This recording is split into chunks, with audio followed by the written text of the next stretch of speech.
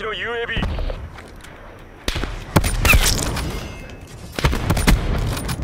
こちらが優位に立っている。反射まみれやんけお前。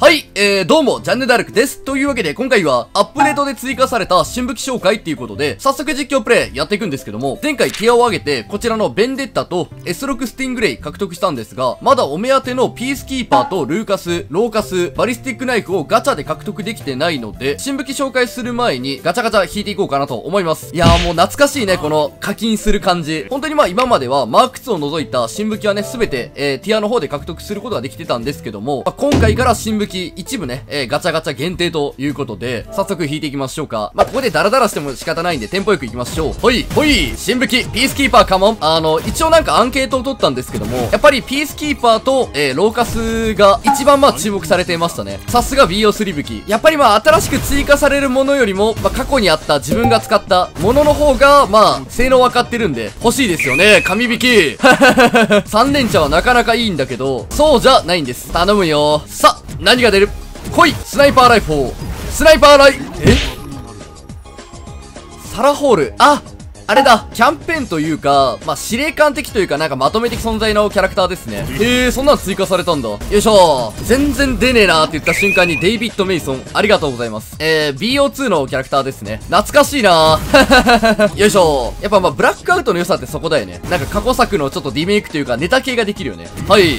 よいしょ新武器おっとルーカスことローカス先輩、ありがとうございます。高威力のボルトアクション、えー、優れたハンドリングで頭部、胸、肩に命中でワンショットキル。オッケー。えー、待望の BO3SR が出たんで使っていきましょうか。おー、見た目若干干違うけども、普通にかっこいいよね。いや、普通にまあパラディンよりも好みかな。ね、スタイリッシュフォルム。えー、アタッチメントがファストマグ、拡張マガジン、FMJ、ラピッドファイヤー、えー、ストックにサプレッサー、スタビライザー。あー、代行系ないんだ。一応まあコシカよりかは威力が高い系なんですけども、コシカの方は代行系があるんで、そういったところ、アタッチメント次第ではコシカに負けるって感じか。では、早速、ボルトアクションベアボンズチームデスマッチやっていきたいと思います。こちらのモードは先週から引き続き、継続された SR 限定モードなんですけども、なんかちょっとおかしなところがあって、こちら SDM みたいな、そのレンスナは禁止なんですけども、なんとなんと驚きの、えー前回紹介したこちらのベンデッタっていう、こちらが使用することができるんですよ。いや、これはまあまあまあまあ、まあ皆さん的にはね、レベル上げに最適かなと思いますので、まあぜひぜひ、えーベンデッタしっかり、えーローカス先輩が当たったら、ボルトアクションベアボンズチームデスマッチやってみてください。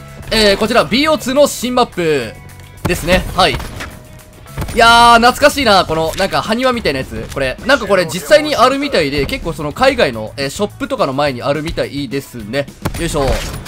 よいしょ。反射てかさ、普通に胴体当ててんのにさ、反射なくね？よいしょ、ナイスはい、ということで皆さん、これが、あ、待って、目の前俺。よいしょ。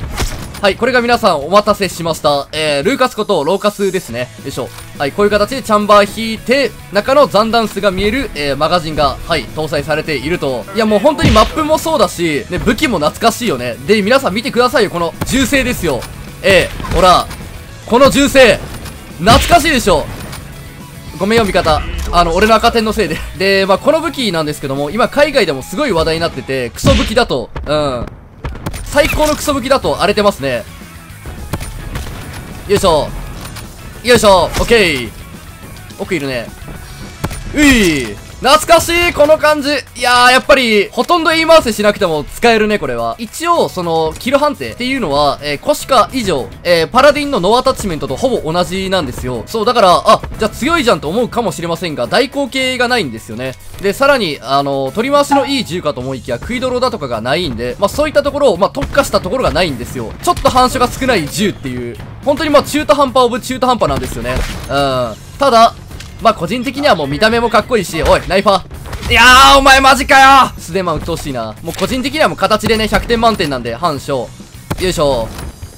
まあ弱かろうがなんだろうが使いますよ、私は。えー、誰が何と言おうとこの武器をクソ武器とは言わせない。私は、愛する、ルーカス、ローカス。あの、州によって呼び方が違うんですけども、正しくはローカスらしいですね。よいしょ。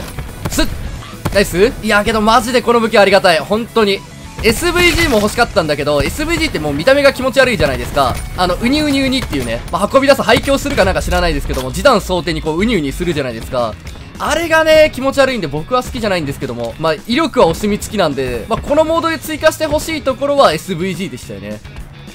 よいしょさあ、とりあえずこのディス奥の方で RCXD パイセン使って、ごめんよ、2回連続のディスカリ。さあ、裏取りしていきましょうか。よいしょ、パラディンパイセン拾って、よいしょ、とりあえず敵の裏取ったっぽいんで、射撃したかったんだけど、よいしょ、反射さっきのはちょっと足元だったから反射は仕方ないんだけど、うまいな、敵さん。いた。こんにちは。えもう上半身出てるやん、さっきのお前。よーし、ナイス。けどまあそうですね、パラディンと全く同じような性能なんで、そういったところ、よいしょ。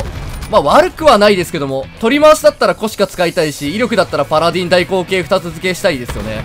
ナイスけどまあ、ラピファが一応付けられるんで、そういったところ、カスタマイズさえすれば、輝く可能性もビレゾン。待って、二人がいいな。一人、反射。二人目反射。じゃなかった。オッケー、ナイス。ダブルキルからの味方それ頼んだ。で、多分リス詰めてくると思うんで、とりあえずディスガリポジ行きましょう。味方大丈夫それ。やられてんね。ふっ、1枚。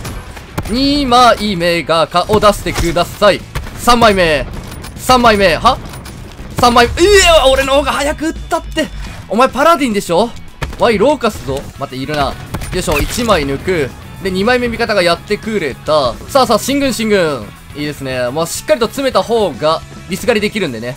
ポイント加算するためにしっかりと詰めて、うわそこのポジあったなっていうか、ここのボツのマップってそんなにまあ人気じゃなかったんですよ。そう、普通にドミネーションクソマップって言われてるぐらいひどいリスだったんで、まあ、ある意味それが人気を呼んだ、味方はちょっと押さないでそれが人気を呼んだかもしれませんが、ま、僕個人としてはそんなにいい思い出はなかったのかなと。ごめん、あー、いくっそれでは2試合目、マップはジャングル。使っていくカスタムはこちら。レベルの方を上げまして、イエローサイトとファストマグ、ストック、スタビライザーということで、おそらくまあ SR の中で初めてですよね、このイエローサイトは使えるのが。一応まあ BO3 の頃も全然あったので、さすがそこはリスペクトって感じなんですが、果たしてどうなんでしょうかいやーけど久しぶりだね。ワールドウォー2の頃もイエローサイト SR なかったんで、まあそれは当然っちゃ当然なんですけども、おー、まあ普通のイエローだね。えー、使い勝手どうなんだろうか。ちょっと楽しみでもあり怖いところでもある。あの、やっぱり、あの、反射が多いってことは、上半身狙わないといけないんですよ。そう、そういったところ、イエローサイトとかになってくると、当てやすくはなるだろうけども、下半身ヒットの方が多くなってくるかもしれませんので、いつも以上にちょっとスナイパーライフをしちゃうかもしれない。スナイパーライフル、ナイスヘッドショット。これちょっとまぐれですね。さあ、一回リロード入れてから、スナイパーライフル、反射。2回目ちょっと当てたいよ。スナイパーライフル、ナイスいいね。で、なんか後ろサプレッサーの音聞こえてんね。そ、スナイパーライフル。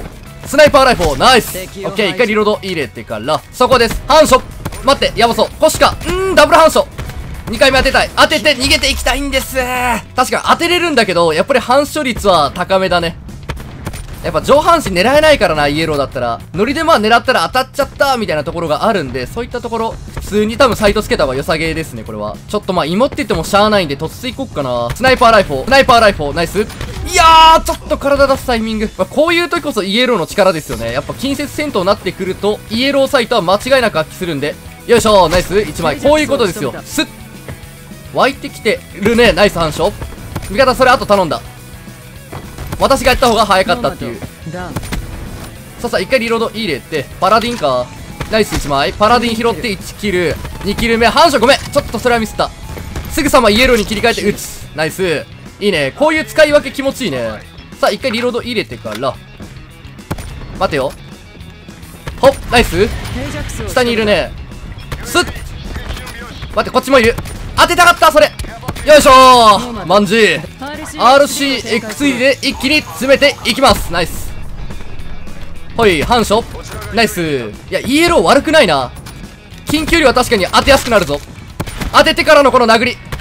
殴らせて、お願い、お願い。先っぽだけでいいから、先っぽ、先っぽだけでいいから、殴らせて、ありがとうございます。やっぱ視界がクリアだな。反射。嘘でしょ？あー、多分これ。よいしょ。予想通り。ふっあれ、当たってないのそれ。一回逃げて、いたね。ほナイス二人目いるんでしっかりとイエローサイトで撃つ。撃つ。一回指出してから。いやー、待ってるというかギリギリ見られたな。よいしょ。剣物出して、その間暇なんで RC 使っていきましょう。さあさあ、近くに赤点出てたが、お前か。さあ、行きましょう。アプデが来てからの初めてのヘルストーム。はーっパーなんかあんまりいかなかったな。スナイパーライフル。は嘘でしょ上からの状況でそれ反射なる一回リロード入れてから、よいしょ。スナイパーライフル？は？スナイパーライフルオッケー多分、は？ありますよ。その定点やろう。ナイス味方カット。ふっ反射いやー味方後頼んだ俺の後釜を。いやーやられてんな。しかも3枚抜きされてるよ、あそこで。おい、反射。これはもうしゃあないね。いた。こんにちは。さあ、92対97。奥いたかな待って、後ろ。ほっ反射撃ちたいオッケー95対99。死にそう。あ、死んだ。うん。はい。えー、ということで。まあ、とりあえず、ローカス先輩、めちゃめちゃ弱いかって言われたらそうでもなく、むしろイエローサイトつけたら、新しいちょっと道が開けたんで、まあそういったところやっぱりちょっと特化してるところありましたね。はい。えー、ということで、これからもね、追加された新武器の紹介やっていきますので、もしよろしければ通知が届くようにチャンネル登録、高評価よろしくお願いします。それではご視聴ありがとうございました。